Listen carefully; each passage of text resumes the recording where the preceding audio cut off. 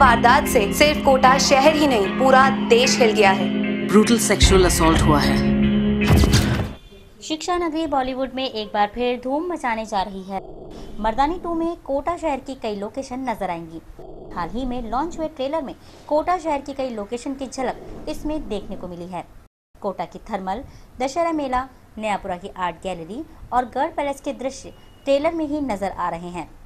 Yashraj films के banner पर बनी इस फ़िल्म की अधिकतर शूटिंग कोटा में ही हुई है और अब फ़िल्म दिसंबर महीने में रिलीज़ होने जा रही है।